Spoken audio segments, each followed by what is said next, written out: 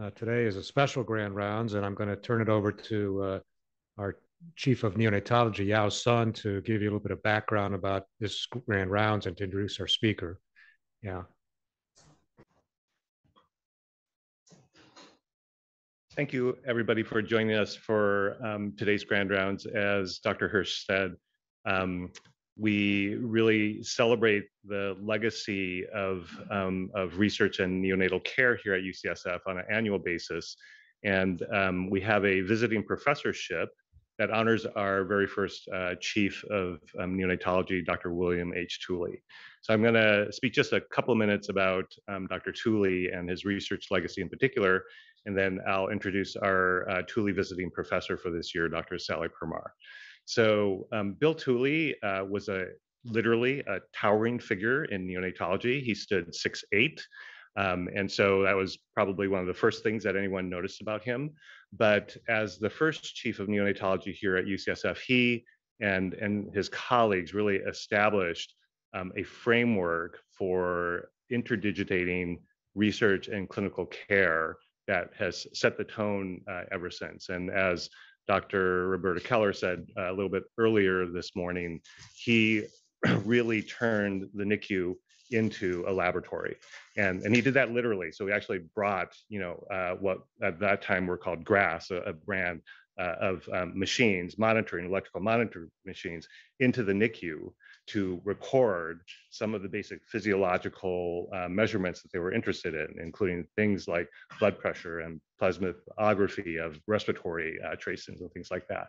So um, uh, it was a, a, a, time of giants and in, in the time of medicine. So Dr. Tooley, um, Dr. George Gregory, who invented CPAP um, in, uh, in neonates, um, Dr. John Clements, who discovered surfactant, um, together, they worked in ways um, that advanced both um, clinical and scientific medicine.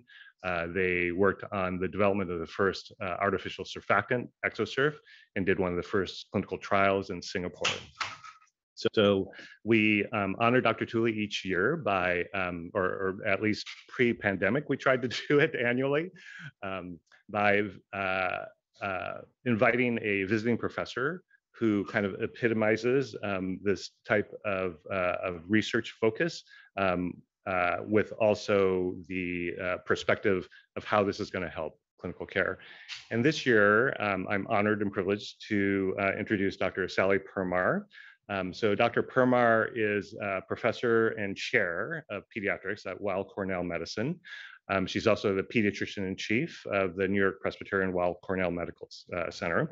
Um, I think many people here at UCSF know her very well in her other role, which is she is the director, um, principal investigator of the Pediatric um, Scientist Development Program um, from the NIH.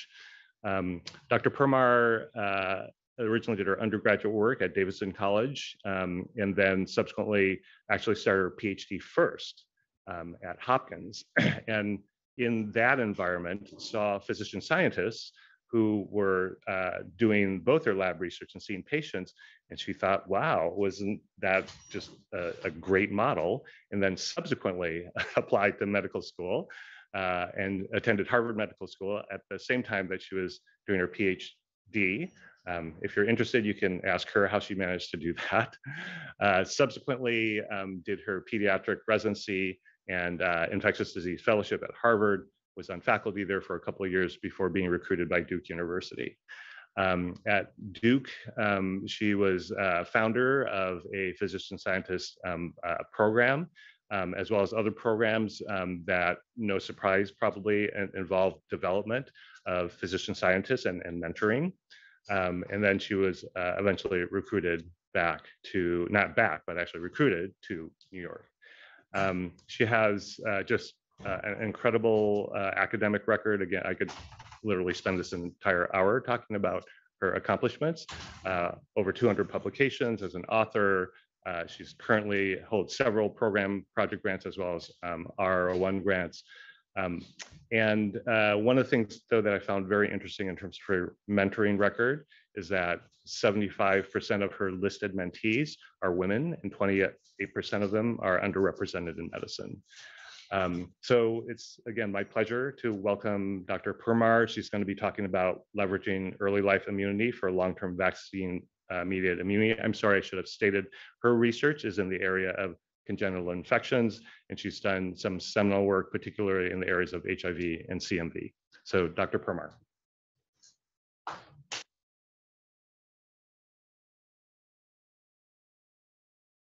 Thank you so much um, for that wonderful introduction. And um, despite leaving your notes at home, you did a really great job.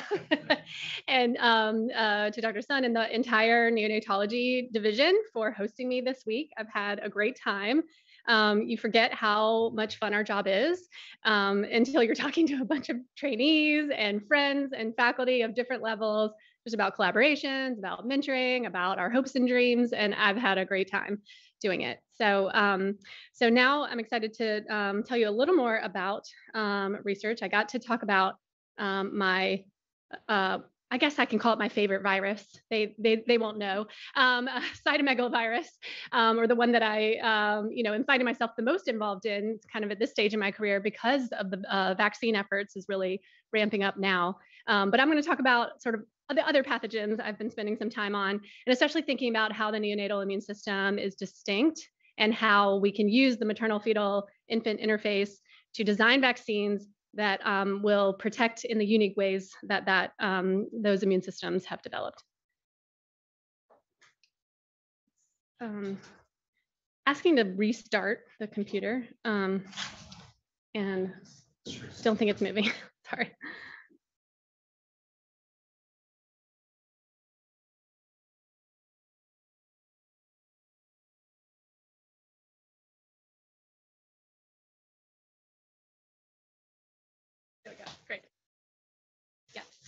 Awesome.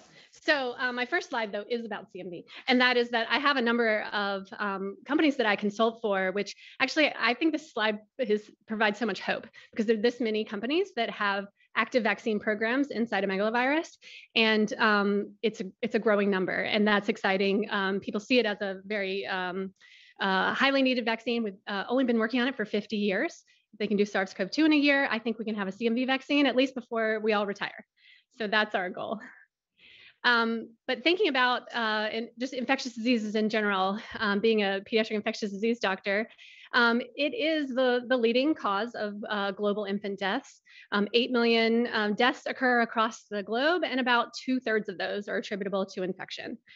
Um, and so uh, some of those we have pretty good vaccines for, like measles. Some we really need better vaccines, like malaria, where we are just kind of starting, um, uh, other uh, congenital infections like CMV, uh, even um, uh, other causes of sepsis, et cetera.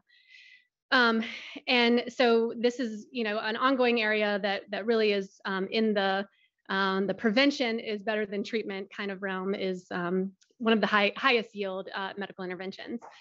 However, as we heard about in the earlier uh, Thule Symposium lectures today, pregnant women and children are often left out of early phase vaccine development. And um, we saw this front and center with the COVID vaccine rollout that never included pregnant or lactating women in the trials, had 30,000 people in the trial.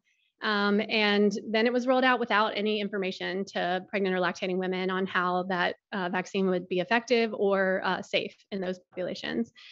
Um, also, it's a health disparity that children had such delayed access to the SARS CoV 2 vaccine. And in fact, we saw a concentration of cases um, during the Omicron um, wave in children, and it was because they were the unvaccinated at that point. Maybe y'all saw that in um, San Francisco as well.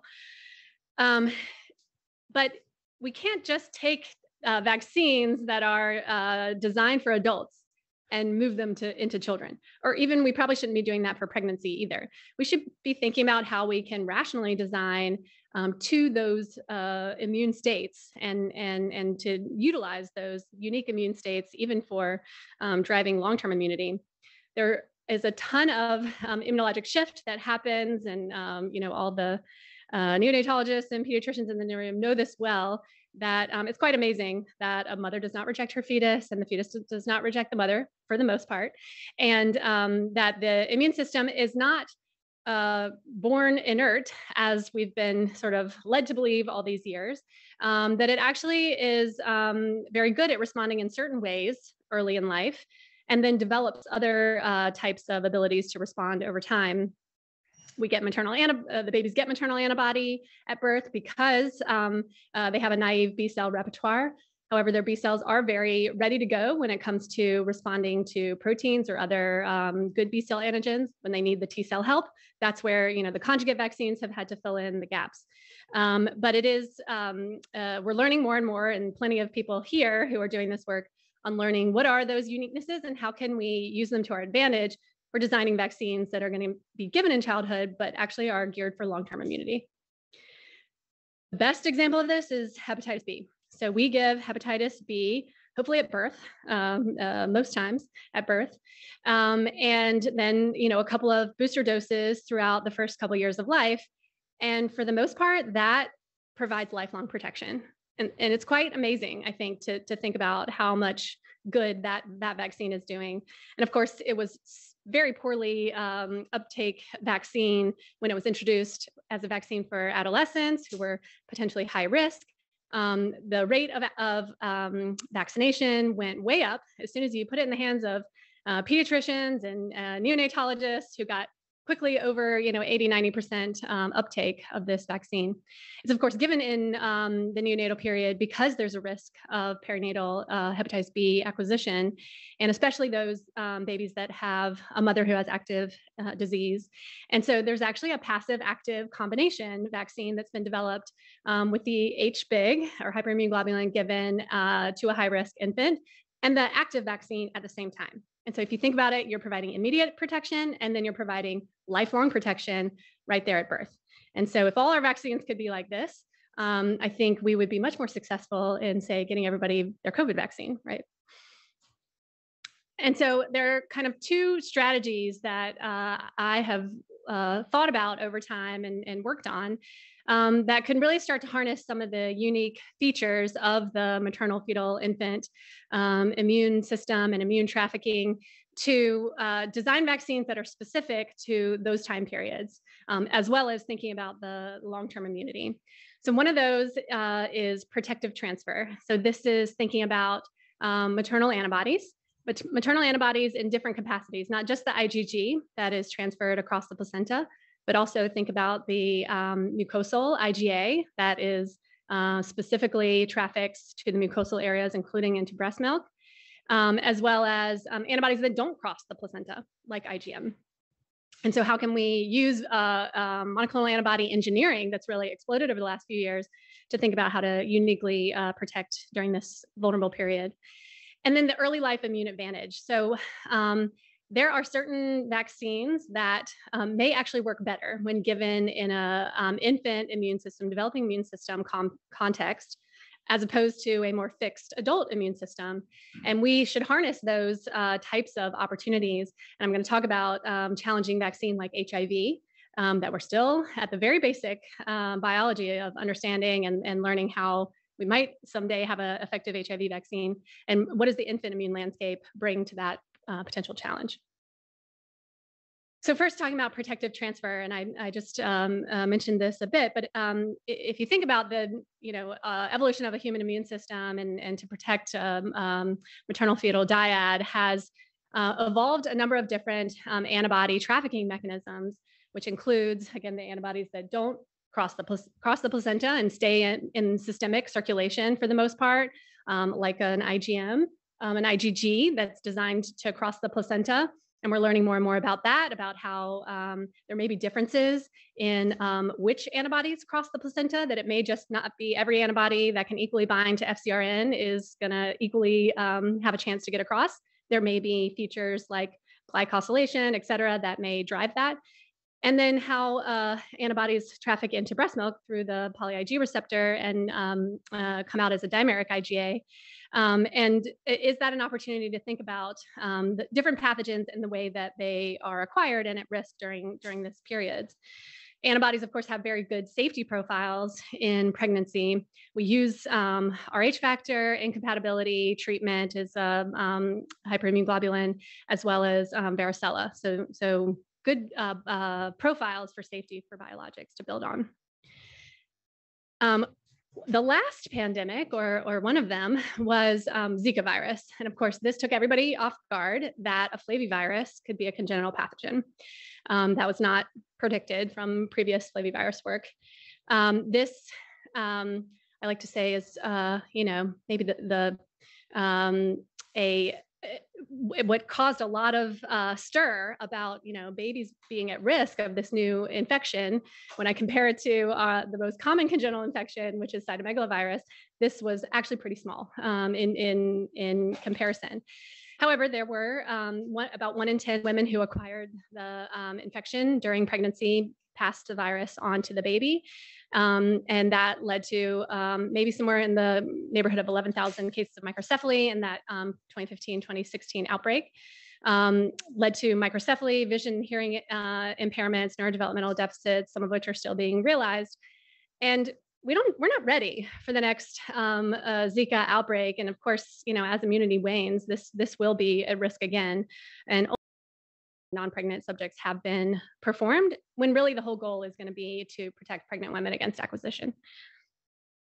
Um, so like many pandemic scientists that we're now like becoming better at doing, I think, um, and probably will have to continue to in the future, um, is to act quickly when um, when uh, outbreak happens and figure out uh, do you have friends in the area who maybe where the outbreak is occurring, and so this is um, something that um, that that I took on, and, and luckily was at an institution at Duke that had a number of collaborations going on in Brazil.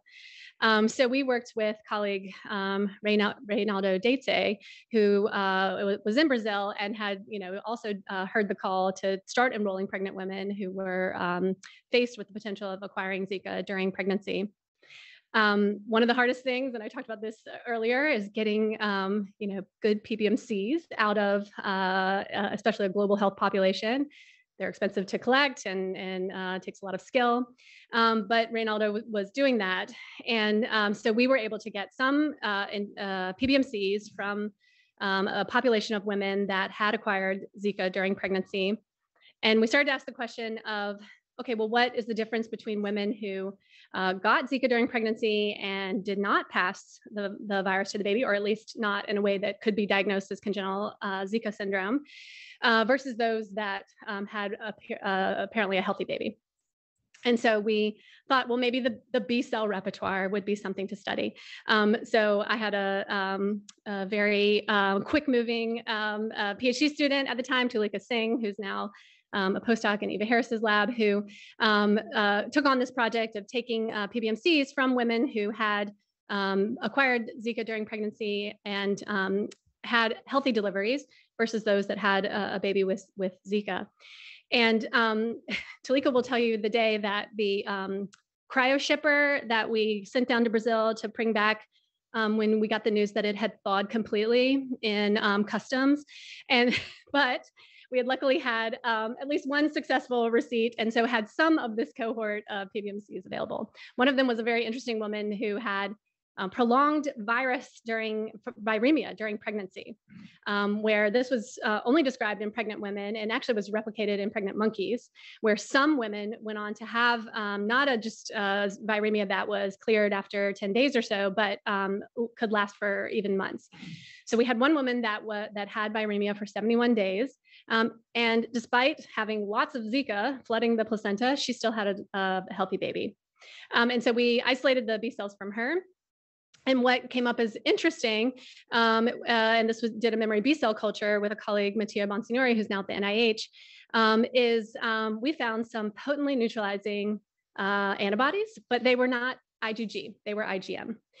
Um, and so we went on to uh, help uh, to further characterize this, um, especially one potent antibody um, that we called um, DH1017. Um, so there's the cute picture of it as a EM, um, as a pentameric and even hexameric structure, which I don't think I knew that before, that IgM could exist as a, a hexamer also. Um, it was the most potent of all the antibodies that were Zika specific that we isolated, had the best binding profile. They're shown in red as well as you know, at least fivefold more potent than other IgGs that we um, isolated, which may make sense for it being a pentamer.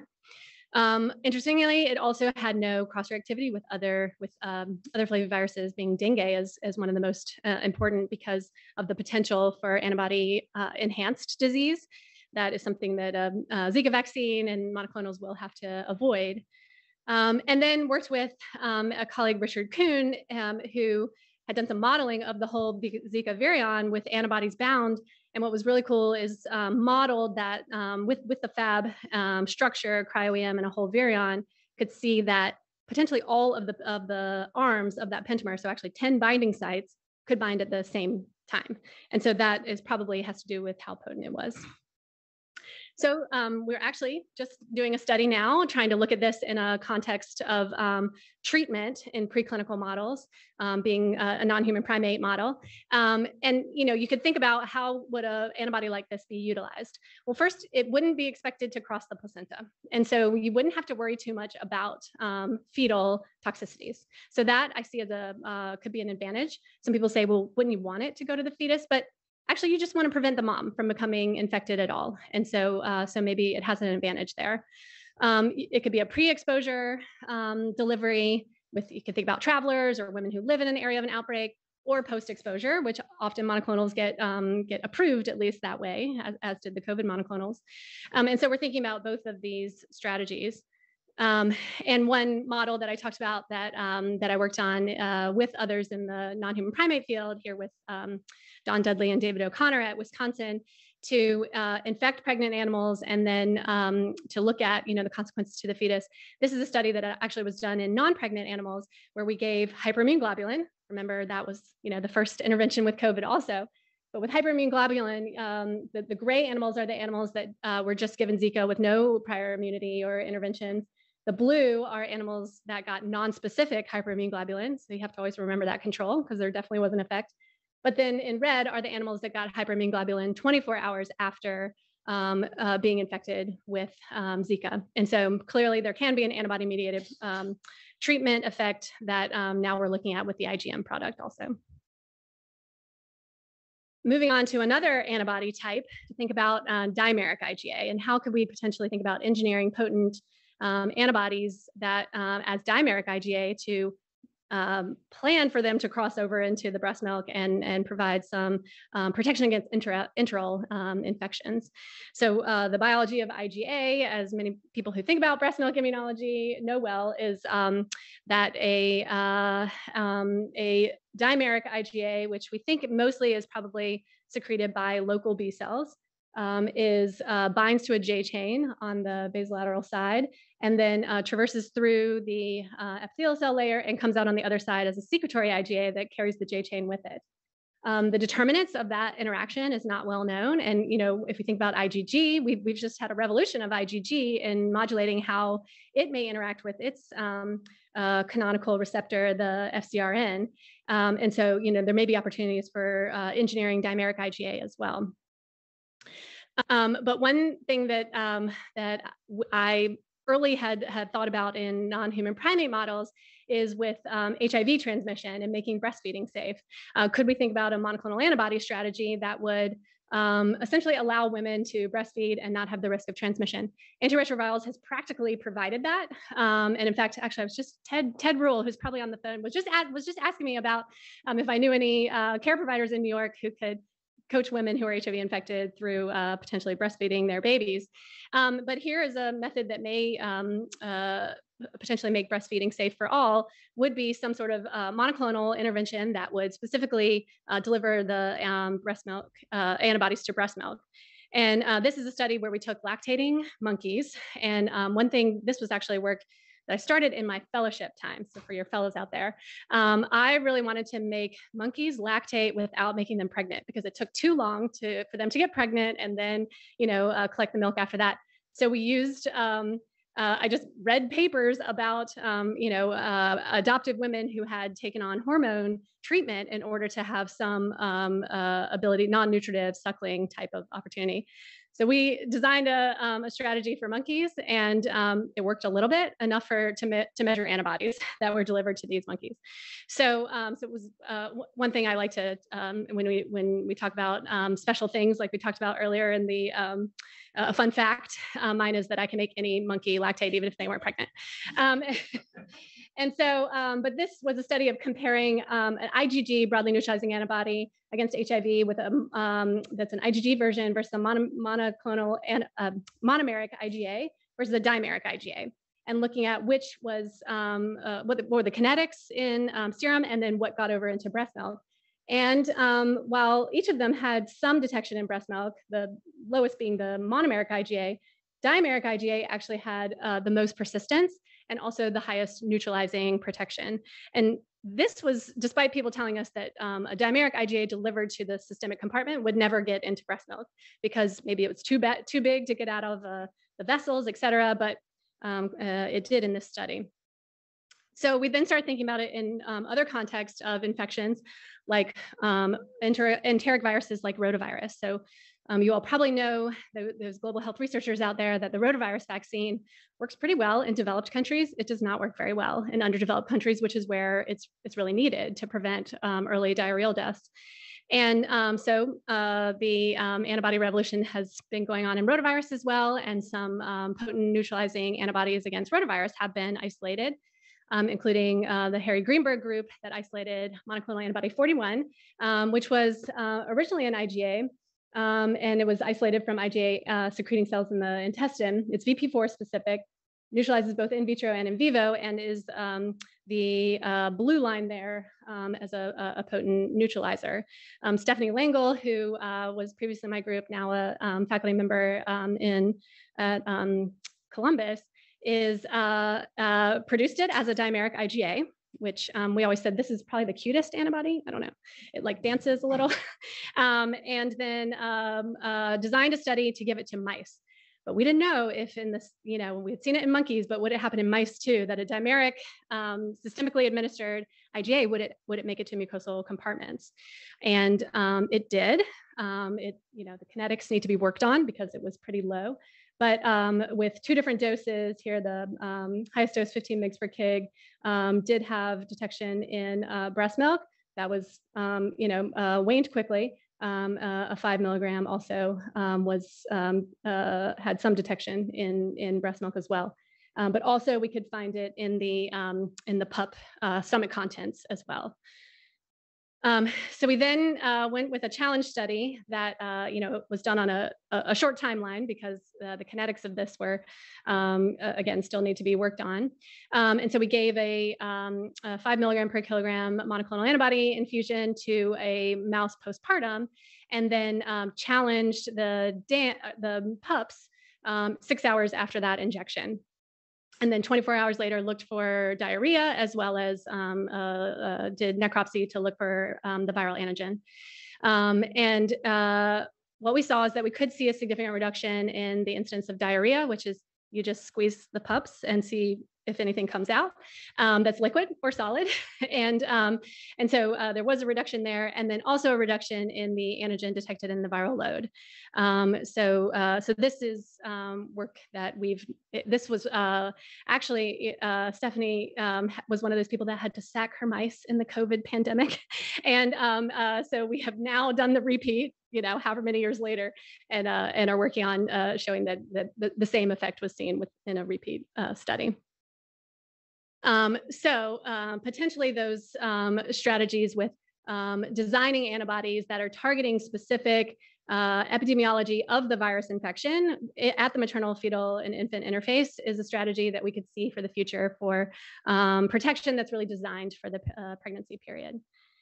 But then thinking about um, the um, active vaccination, so uh, the early life immune advantages. So again, we've sort of, uh, the, the, textbooks would say that the um, neonate is um, immunologically deficient, but actually the neonate is just immunologically different. And so um, uh, how can we help harness those types of responses that infants are good at that you may lose the ability to, um, to be as good at as you uh, evolve your immune system into adulthood?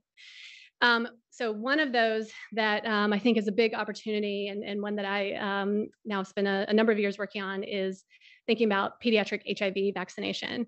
Uh, the epidemiology of the HIV pandemic does um, lend itself to uh, strategies that would um, protect infants passive, po possibly through passive immunization, again, with the um, uh, the explosion in broadly neutralizing antibody technologies um, with that um, uh, the time period the temporary time period during which an infant is at risk either in utero um, uh, around delivery or through breastfeeding. Um, and, and that's you know still a lot of infections 400 uh, a day of um, infant infections are happening and half of those through breast milk now um, but then there's a period of essentially no um, HIV exposure risk. Um, uh, once weaning happens and until sexual debut, that's actually uh, could be a great time in which you want to elicit the immunity that's going to be needed to protect um, starting in sexual debut and then through uh, through uh, the rest of their life. Um, and so, uh, uh, and actually, our adolescents are um, a, a, major high risk population right now. The, um, they're one of the populations that continues to have rise in mortality, um, keeping them in care and on antiretrovirals. Those who work with adolescents know uh, can be a challenge. Young women uh, are infected more often than their male counterparts. And um, of course, this cycles back into pediatric HIV because young women who are um, uh, pregnant or lactating are often included in, in this um, uh, adolescent and young uh, female group. Um, but this is epidemiology that lends itself to potential of a passive and active combination that then will uh, traverse, uh, you know, immunity across the lifespan. Um, and so uh, now there are trials ongoing with broadly neutralizing antibody delivery to infants and uh, at least protecting through the um, breastfeeding period and some cost effectiveness studies that in areas of high risk that would be um, uh, cost effective. But then one area that that I've been focusing on with colleagues is the potential for introducing uh, multi-dose vaccination that we know is going to uh, require multiple doses for an HIV vaccine because of all the B cell evolution that has to occur in order to reach those broadly neutralizing antibodies being actively elicited uh, without uh, the setting of infection. So, um, and how we know that this uh, might be more uh, possible in an infant immune system and developing immune system is looking at the immune um, responses in HIV infected children compared to that of HIV infected adults. And it, uh, now several investigators, including my colleague um, Jenny Fuda, has reported um, that it is um, happens more quickly that um, that infants who are HIV infected um, can develop neutralizing antibodies within one to two years after infection. In adults, it was always seen as something that happens three or later years after infection. And then um, in adults, it only happens um, about 20% of the time, and we're finding that over half of infected infants will go on to have this response. Another key um, uh, underlying principle is that possibly there are less somatic mutations required in the antibodies that become broadly neutralizing antibodies um, compared to those in adults. Um, this is one of the uh, reasons why it's it's so challenging to make an HIV vaccine is in order to make those broadly neutralizing antibodies that are clearly needed because a lot of T cell based vaccine uh, trials have not gone well, um, is the um, the B cells that make those broadly neutralizing antibodies are often highly uh, somatically hypermutated, up to 20, 25 mutations even. And that is an unusual type of antibody, and often antibodies that are even have autoreactive pro uh, properties. And um, so it's thought that maybe the B cell tolerance mechanism are actually deleting those types of hyper, hyper mutated antibodies and um, in an um, infant immune system, maybe the tolerance mechanisms are different, and maybe even the uh, rate at which the somatic hypermutation happens per each amino acid is distinct. And so, uh, so this is something that um, also indicates that it could be easier to elicit those broadly neutralizing antibodies in infancy. Um, and it's and again, it's going to have to be a multi-dose vaccination because I think we realize how much evolution of the B cells have to occur that um, uh, just won't be achievable in a couple of vaccine doses with current vaccines. So the um, uh, strategies that are being applied now is B cell lineage designed HIV envelope vaccines, and there's um, some bright lights of success going on. Um, so this is based on taking um, uh, native like HIV envelope proteins, um, now called SOSIP trimers. And don't even try to think about what SOSIP stands for because it is not even an acronym. So we just call it that in the HIV field. So SOSIP uh, uh, native like trimer um, that is um, then uh, uh genetically modified or, or modified uh, the, the, the, conformational structure to bind better to certain uh, uncommon uh, or common ancestors of the B cell lineages that can develop into broadly neutralizing antibodies. So this uh, vaccine, a BG505 SOSIP trimer that actually uh, was designed from a virus that was originally acquired by a baby, that's the BG, probably a baby girl. Um, the uh, mutations were made in the um, structure at the binding sites of um, broadly neutralizing antibodies for better engagement with those B cell lineages, um, including CD4 binding site antibodies, as well as um, to the variable loop 1 and 2 apex. And so we studied in infant monkeys um, whether uh, if you vaccinate uh, with a wild type trimer that just came straight from the virus versus a uh, B cell lineage designed trimer that is um, designed to better engage those uh, broadly neutralizing antibodies, uh, would be better at inducing uh, at least the precursors of broadly neutralizing antibodies. This study led by Ashley Nelson, um, who um, just recently moved to Weill Cornell as a faculty um, uh, led this study. And so we did priming immunizations with a protein uh, and, and here with a potent adjuvant, which is a TLR7-8 agonist. Um, that in other studies we had shown was really well suited to an infant immune landscape to elicit high uh, binding antibody magnitude. Um, we gave three priming doses with the B cell lineage design trimers and followed with the wild type trimer after that. We found that both of the um, uh, immunizations were um, immunogenic, could elicit high magnitude IgG responses. And, um, and you can see we gave multiple doses over time that we really designed to fit into an uh, EPI type uh, under five vaccine schedule with multiple uh, vaccines in the first couple months of life, kind of that two, four, six type of um, approach, and then um, annual vaccines after that. And so did this um, monkeys age a little faster than um, than humans, about three times faster. And so we think of a, a, a sexually mature monkey is around 3.5 years of age. So, um, so that uh, is kind of the, the immunization period we've been taking advantage of. But what um, was um, uh, interesting is that in the animals that got the B cell lineage design trimer, they're shown in green, um, had similar ability to neutralize the virus that um, matched the, uh, the vaccine strain, which is about as, as far as HIV vaccination has gotten so far, is you can elicit autologous virus neutralization. But we really want, and you really need the heterologous virus neutralization, the broad neutralization.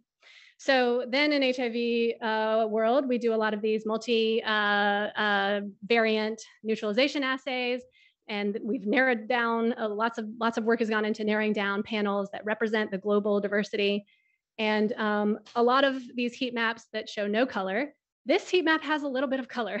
So a little bit of induction of ability to neutralize multiple global variants of hiv but only coming from the group that got the b cell lineage design trimer um, and, and, and another uh, assay that we did developed by um, David Montefiore's group at Duke is to be able to look to see if precursors of certain types of neutralizing antibodies are developing that you can detect them in plasma. Um, they are not yet fully mature and therefore able to uh, mediate the same level of neutralization as the uh, broadly neutralizing antibody monoclonal itself. Um, but um, we can use um, uh, virus variants that are slightly more susceptible to neutralization, like through glycan deletion, and then also uh, make mutations in the important epitope, like the CD4 binding site epitope.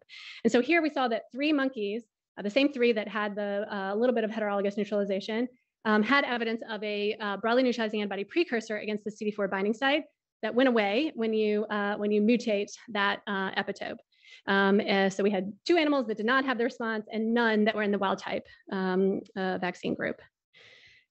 Then one of my newest favorite techniques uh, being applied in vaccinology now is cryo-EM polyclonal antibody mapping. Um, this being done at Scripps by Andrew Ward's group and Gabe um, Orozowski um, here did these studies, is um, being able to take the antigen that you immunize the animals with um, they uh, incubate it with the polyclonal plasma and then are able to image where you see antibodies binding.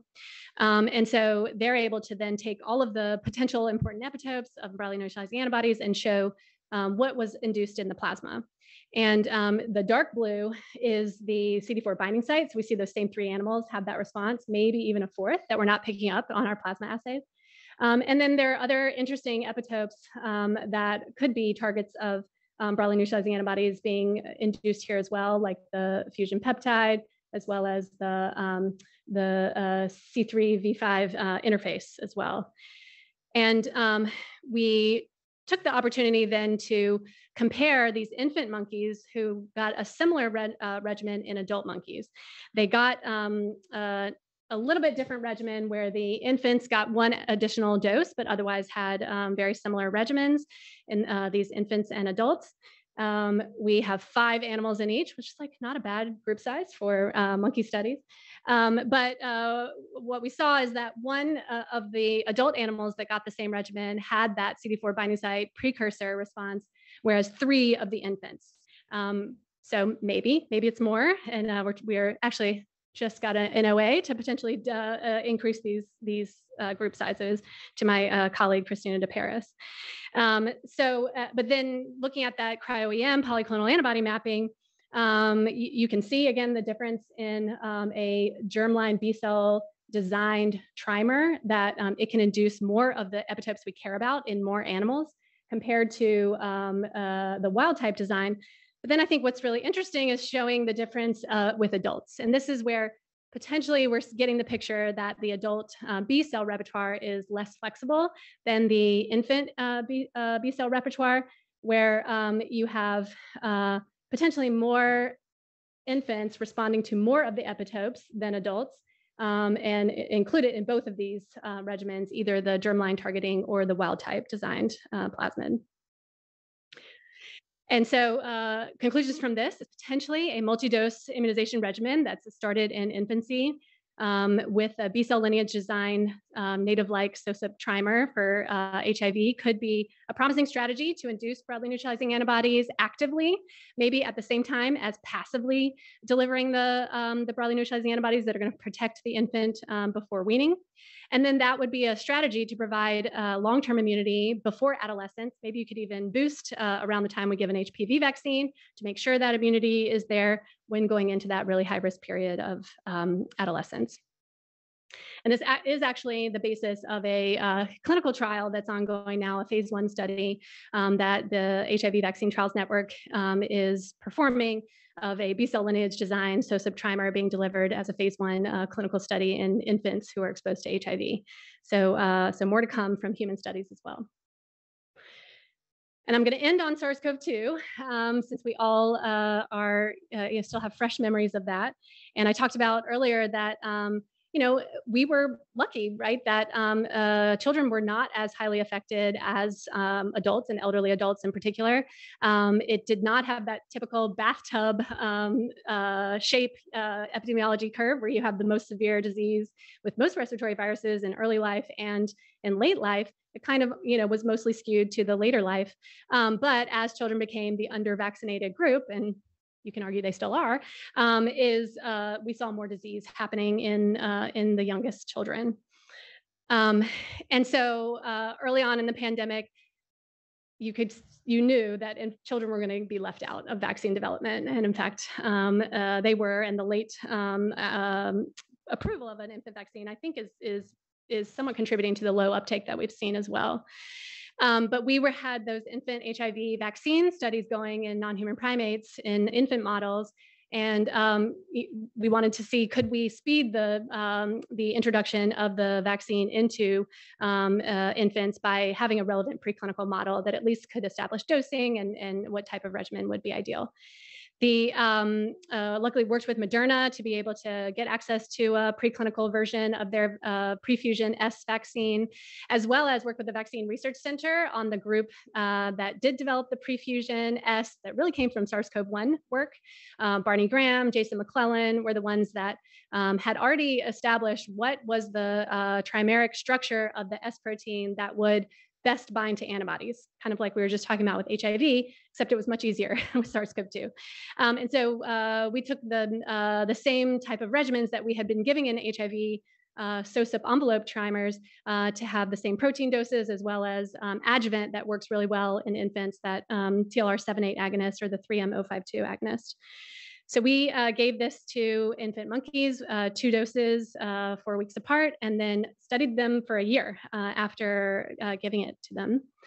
Uh, what we saw is very good um, neutralizing responses that were um, elicited in the infants and lasted a pretty long time. Um, we here was neutralization of the actual live variant done by um, Ralph Barrick's lab. Um, and we saw induction of um, uh, CD4 and CD8 T cells as well, with um, the mRNA having a um, stronger ability to elicit uh, CD4 T cells than a protein vaccine um, that had been described for mRNA as well. But um, the protein vaccine shown in blue did uh, have induction of both CD4 and CD8 T cells that were specific for the S protein as well. And then uh, after a year of vaccination, did uh, work on a challenge of these animals, uh, which at, at, that point, the Delta, Delta was king. And um, so uh, challenged them with a heterologous virus to the, um, the D64G wild type that we had given them the vaccine to match, the same vaccine we all got. Um, and uh, so challenged with uh, the Delta variant of these two, um, two groups of infant monkeys. And what we found is that in the protein immunized animals that did have slightly higher magnitude um, antibody responses, um, that's where we saw a reduction in the virus replication in the nasal swabs, which again, um, the vaccines being completely sterilizing was probably an unrealistic um, expectation. So, but reducing virus load um, is, is um, likely an important effect as well. And then really what matters, the lung um, pathology here with an intratracheal challenge, um, we showed that the um, amount of pathology could be significantly reduced with any vaccine, um, but actually was the most reduced with the protein vaccine um, that again uh, elicited the strongest neutralizing antibodies that, um, that uh, because they were higher magnitude, uh, waned less over that year. Um, there were a couple of animals with mRNA vaccination who did have some disease um, in the lungs that they um, were the ones you would have predicted had the lowest neutralizing antibodies left at the time of challenge. So um, able to show that, and I, I, didn't talk about this, but we did um, give a lower dose to the infants, both the mRNA and the protein than the adults were giving. So that low dose um, vaccination, uh, you know, that then played out in the human clinical trials to be able to go down to low dose, which did reduce the toxicities in children, um, was uh, safe and highly immunogenic. B cells in babies are very ready to go in responding to protein. And so this is an advantage we should you know, use in infant vaccination is to reduce the toxicity by reducing doses. Um, they both induced uh, durable plasma spike specific antibodies that could neutralize, but the protein vaccine uh, decreased the nasal virus replication as well as the um, pathology in the lungs to a Delta virus challenge, um, slightly better than the mRNA vaccine. So possibly uh, we should be using a different vaccine construct in, in infants. Um, but uh, I think if we just get them all mRNA, that'll be a good start. Um, so just summing up as to um, how we can really start to think about designing vaccines that are specific for the maternal infant dyad is to think about covering the, uh, the infant of, win- of um, the window of infant vulnerability. Um, you, you, can't vaccinate at this point before uh, you know the baby is born, and so you're going to have a window in which um, there is not vaccine elicited immunity present in that baby, and so delivery of um, preformed antibodies like uh, the monoclonal um, antibody approaches. Now the RSV vaccine nirsevimib set to come out um, uses this opportunity. Um, but how can we also think about delivering antibodies that are going to traffic into the compartment that is most important for that infection, like trafficking into breast milk or staying in the systemic compartment when you only need to protect the woman against acquisition. Um, then leveraging early life immunity for long-term um, uh, immunity to protect against uh, the next pandemics. So uh, designing vaccines that not only are specific for the infant immune system, but also utilize the uniquenesses to elicit responses that may not even be elicit elicitatable in um, uh, more fixed adult um, immune systems. And so this is where I hope vaccine technology will take us in the near future. And um, I appreciate um, first all my collaborators. This is a ton of work and, um, and, and really a lot of work on um, uh, developing scientists that um, you know take on these projects and really um, uh, make them their own and then become uh, you know uh, proponents themselves for uh, this this type of work and vaccinating these vulnerable populations as well as all the primate centers that work with us also our collaborators in the vaccine development and um, uh, the NIH for, for most of this funding. And I'm happy to take questions.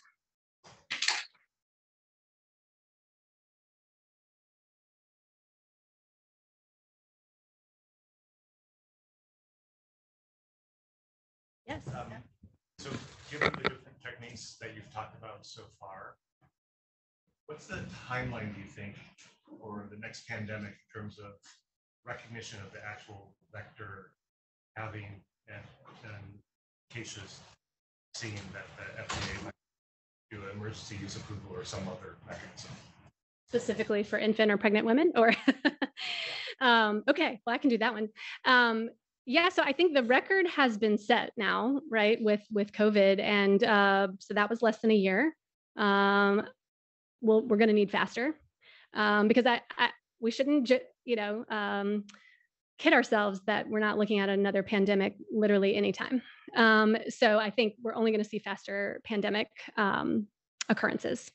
Sorry, should I ask you to repeat the question for our Oh, sure, sure. Um, so the question was, how, how what is the um, timeline for the next pandemic?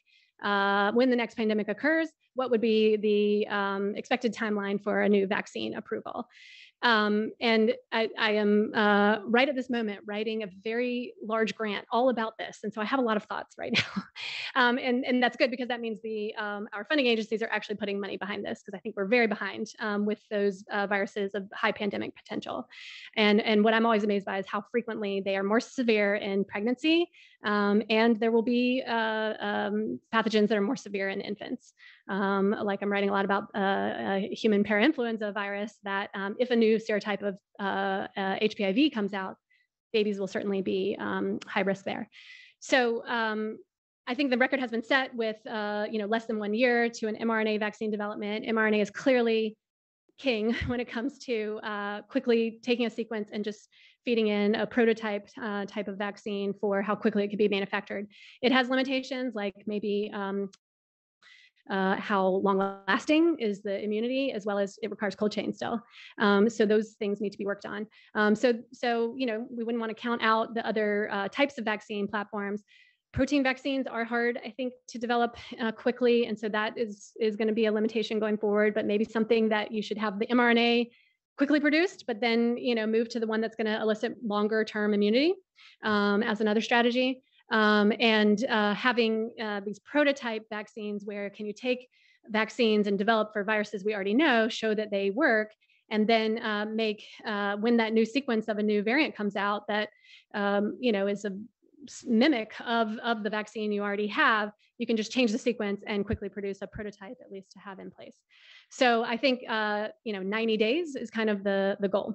Uh, and so um, and and also we're involved in some pandemic preparedness work, sampling children throughout New York City um, to just have on the shelf um, some monoclonal antibodies against things that they are seeing now uh, working on uh, enterovirus D68 as trying to catch kids that um, that have recently had that infection, even if they don't show up on our wards with um, AFM. Uh, you know, what what was the immunity like, and can we isolate antibodies that that would be on the shelf and ready for um, an outbreak of a similar virus?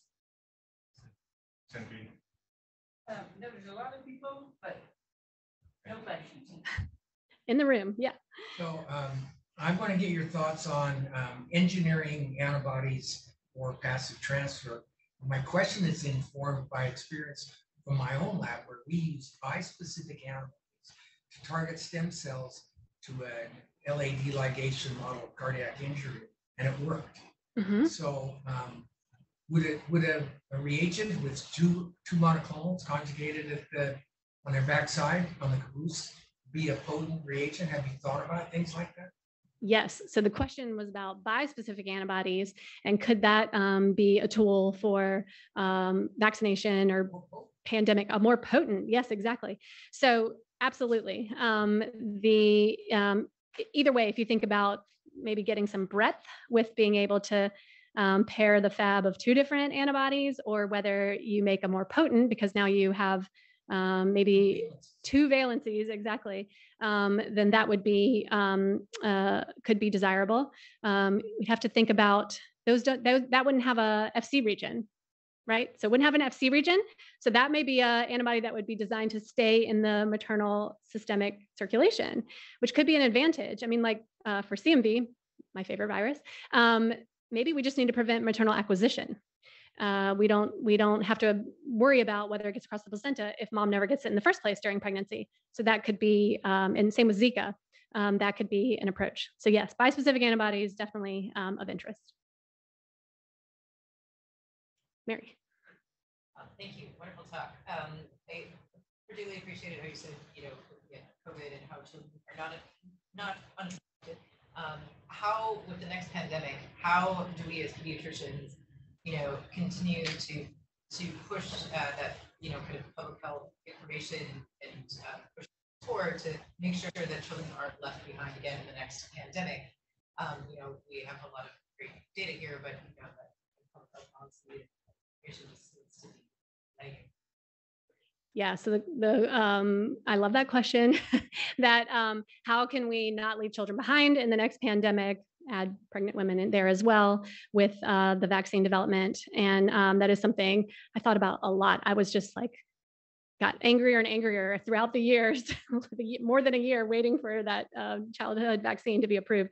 So um, uh, what I did with that. When, whenever something makes you upset, you should probably like do a research study on it, right? So, uh, so that's what I tried to do. So, and uh, I guess, in, you know, through the years of being a basic scientist, sometimes things just take too long, and you want to make a policy change. and so, I have dipped my toe in the policy uh, arena because it, you did realize there, there, the FDA approval process it, it does not fare well for uh, early inclusion of children and if you ask industry, why didn't you include children earlier? They'll say FDA. And if you ask the FDA, they'll say it was the companies.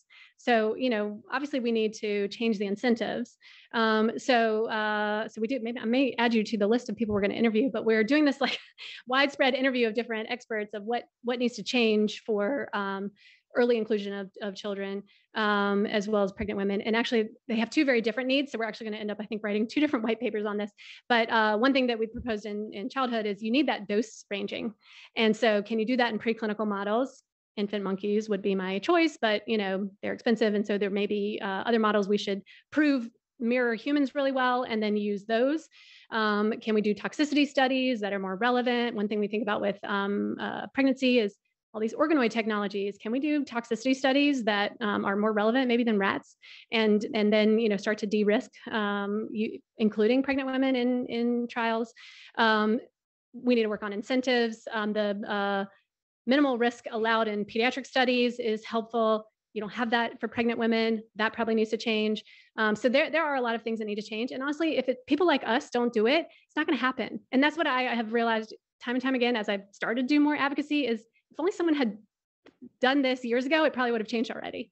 And so don't underestimate the power of advocacy in whatever you do, because um, only people who really care a lot have to, you know, uh, put their effort into it. San Francisco is the home of ACT UP. That's that is true. The whole reason we have uh, all the the treatments for HIV, bringing up advocacy with HIV and ACT UP, and and New York was probably the other uh, epicenter. Um, and the reason that the uh, NIH still prioritizes HIV research is advocacy. And um, so if children don't have voices, and we are the voices for children, and so uh, don't underestimate uh, the power of that in your work. yeah. Thank you. Yeah, that was, that was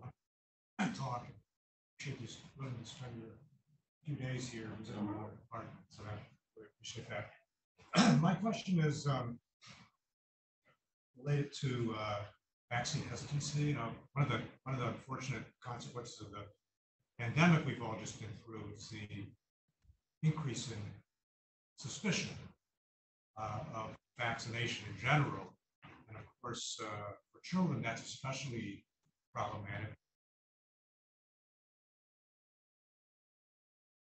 nation has had on improving survival, mortality children. Uh, but this, what used to be a fringe kind of group in the society that was anti-vaccine has become much more dominant now. And I'm just wondering if you have any thoughts about how we as pediatricians can address that challenge with our patients that we care. Yes, so the question was on vaccine hesitancy, which I totally agree is humbling in that you can make the best vaccine, but if nobody gets it, it's not going to be effective. So, so uh, this is something yeah, it snuck up on us with um, you know uh, social media uh, becoming the way people communicate. Um, but we have to we have to work to to fight back on it. Um, and I think um, education campaigns alongside vaccine development needs needs to happen. So we need to think about early stage vaccine development as education and um, communication as well as much as the basic science almost. So I think that's social science that needs to uh, move forward and, and you know um, also involves policy, et cetera. Um, as pediatricians, obviously we are the front line. I don't think we do a good job right now training pediatricians how to combat vaccine hesitancy. I don't know at least of um, uh, you know sort of standard teaching around that even. And and i think we probably need to do that. And and in fact um, i uh, ha- have worked a little bit with the abp in the last year to look at their qi they had qi a lot of it around covid vaccine uptake flu vaccine uptake but none around just routine vaccines. And um, so we and we had a polio uh, case in New York City this year, and we have areas of the city that only have 70% vaccination rate of their under fives. So um, uh, we started thinking about, well, what's our polio vaccine rate? And then shockingly, it was not over 95% like it should be. And so we should be making sure that all of our uh, frontline pediatricians are um, encouraged and, you know, um, uh, have um, ways to incentivize them to look at their vaccination rates and and do those uh, improvements, but also training and how to talk to families. I think there's a science of that that has been developing, and pediatricians still win out as the uh, the most listened to and effective. Um, but I don't know that we're training our um, our uh, pediatricians in how to do that ideally. So so I do think pediatricians are going to be a big part of that, but we the, we need the sort of uh, systems and the policies to uh, promote that as well. And then I think the the social science research and communications research to be seen as just as important as the basic science. So I know we are um, at time right now. Um, Dr. Marcel, if you have a few minutes for anyone who wants to um, come up and ask questions. I want to thank you very much again for being our visiting Julie professor. Come to San Francisco anytime. I had a great time.